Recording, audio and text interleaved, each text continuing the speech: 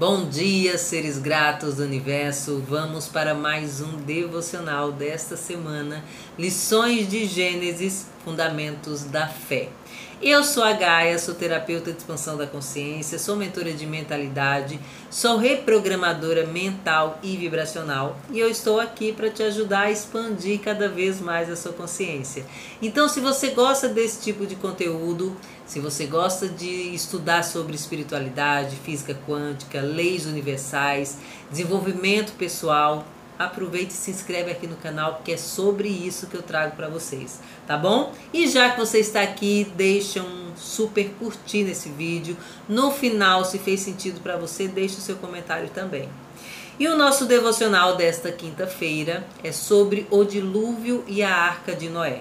Se quiser acompanhar a leitura, Gênesis capítulo 6, versículo 8, que diz o seguinte: Noé, porém, achou graça aos olhos do Senhor bem curtinho esse versículo, né, gente? Mas é só dele que eu preciso para trazer o devocional para vocês. A história do dilúvio e da arca de Noé é algo muito poderoso que fala sobre a justiça de Deus e a sua graça. Enquanto a humanidade se corrompia, Noé encontrou graça aos olhos do Senhor por sua fidelidade e obediência. O dilúvio foi um julgamento sobre a maldade que havia se espalhado pelo mundo mas também foi um ato de salvação para aqueles que confiavam em Deus. Assim como Noé e a sua família foram protegidos na arca, Deus nos oferece refúgio e salvação em meio às tempestades da vida, quando permanecemos fiéis a Ele. Então reflita sobre como você pode, assim como Noé, encontrar graça aos olhos de Deus através da obediência e da fidelidade.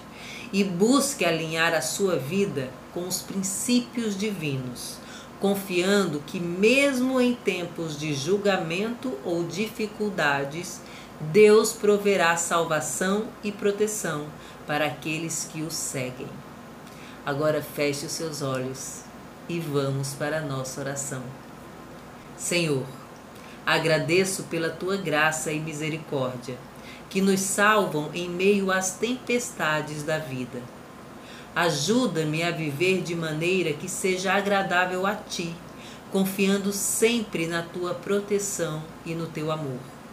Que eu possa, assim como Noé, ser encontrado justo aos teus olhos, em nome de Jesus. Está feito, está feito, está feito. E assim é.